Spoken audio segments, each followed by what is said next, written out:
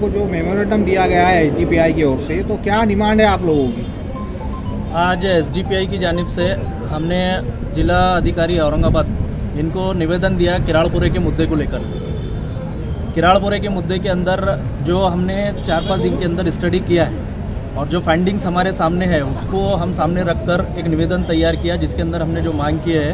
पहली मांग ये है कि ये इतनी बड़ी जो घटना हुई है जिसकी वजह से पूरा शहर जो है तो परेशान हुआ, खास करके किराड़पुरे की आवाम बहुत ज़्यादा परेशान हुई है। किराड़पुरे की आवाम जो पीसफुली जो है तो मैटर को ख़त्म करने के लिए बहुत कोशिश की है। उन्होंने इतनी तकलीफ़ है कि आज भी जो है तो वहाँ पर एक तनाव का माहौल है और किराड़पुरे के अंदर आज भी जो है तो खौफ का, डर का माहौल है। तो ऐसे माहौल का जो वजह बनी, वो वजह कौन है?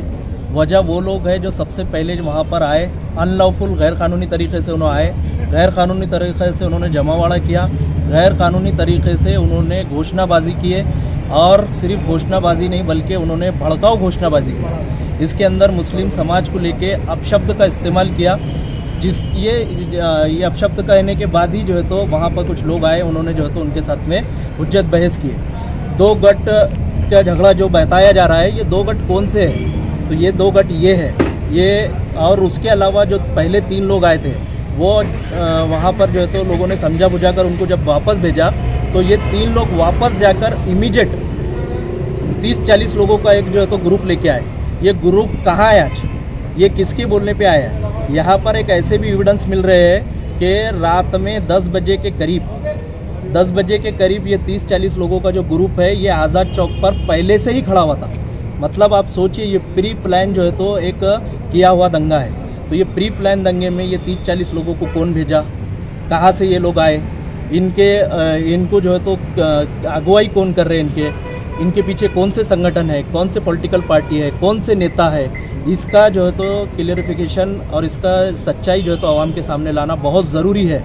और साथ ही साथ, अभी पुलिस प्रशासन की तरफ़ से भी जो कार्रवाई हुई है, हम देखें कि वहाँ पर तकरीबन दो घंटे दो घंटे, एक बजे से लेकर तीन बजे तक लोगों ने जो है तो पुलिस से ही डिमांड कर रहे थे कि वो जो 40-50 लोग आए, उनके ऊपर कानूनी कार्रवाई करें। उनको जो है तो एफआईआर करे, उनको जो है तो जेल के अंदर बंद करे बोल के ये डिमांड वहाँ के लोगों का दो घंटे तक पुलिस के पास ही था। लेकिन उसके बाद में हम देखेंगे जब वायलेंस हुआ, जब गोड़िया गाड़ियाँ जलाई गई। गाड़ियाँ जलाने के वक्त में कोई एक अधिकारी भी उनको रोकने के लिए सामने नहीं आया। दो घंटे के अंदर तो एक बहुत बड़ा बल जो है तो वहाँ पे बुलाया जा सकता था। और बुलाकर जो है तो के अंदर ये जो वायलेंस हुआ, उसको रोका जा सकता था। लेकिन पुलिस की लापरवाही हुई। उसके बाद जो है तो कहीं ना कहीं सुप्रीम कोर्ट की जो गाइडलाइन है, जो दिशा निर्देश है दंगे को कंट्रोल करने के लिए फायरिंग करने के लिए, ये गाइडलाइन को पूरी तरह तोड़ा गया, इसको कुचला गया। ये तोड़ने की वजह से ही दो मासूम लोगों की जान गई। उसके अंदर सबसे पहली मुनीर साहब है, उनको तो क्लियर मालूम है, अपने पुलिस की गोली से लगने से जो है तो उनका इंतकाल हुआ है। अब इनका जो मौत हुई है, इनकी मौत के ऊपर अभी तक किसी ने जवाबदारी नहीं ली। इन किस अभी तक किसी ने ये नहीं कहा कि मुनीर साहब जो बेकसूर है, इनका जो इंतकाल हुआ है, इनको जो कत्ल हुआ है, इसके ऊपर हम गुनागारों को सज़ा दिलाएँगे, मुनीर साहब की फैमिली को जो है तो कंपनसेशन मुआवजा दिलाएँगे और उनको जो है तो इंसाफ दिलाएँगे बोल के अभी तक कोई कहीं पर भी बात नहीं हो रही, ना मीडिया वाले इस पर बात कर रहे हैं, ना कहीं पर कोई बात कर रही है। साथ ही साथ वो जो लड़का है, समीर खान, जिसका इंतकाल हुआ है, वो एक डाउटफुल बोल के बताया जा रहा है। उसका एक्सीडेंट के अंदर मौत हुआ बोल के ऐसा बता रहा है। लेकिन घर वाले, घर वालों से हमने जाकर खुद मुलाकात की। घर वालों का कहना कुछ और ही है। घर वालों का कहना है कि समीर खान जो बच्चा है, वो तीन बजे तक, सवा तीन बजे तक घर के गेट पे खड़ा हुआ है। राम मंदिर से नीचे अनस मस्जिद के बाजू में लग के बल, बिल्कुल रोड पर वो बच्चे का घर है। तो सिर्फ़ समीर ऐसा अकेला नहीं खड़ा था अपने घरों के बाहर। वहाँ पे तमाम लोग जो है तो अपने घरों के बाहर में खड़े हुए थे। मॉप वायलेंस करने वाला मुट्ठी भर भी नहीं था। बहुत कम है जो कैमरों के अंदर हम देख सकते हैं आसानी से।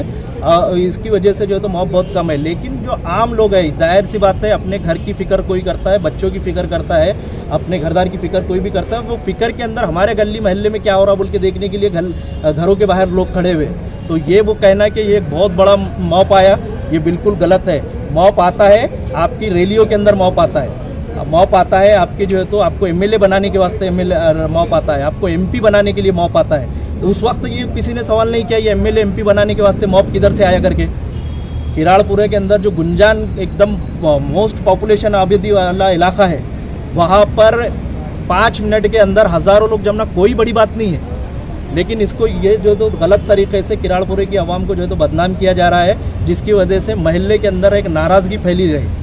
हम किराड़पुरे की आवाम का शुक्र, शुक्रिया अदा करना है पूरे शहर ने।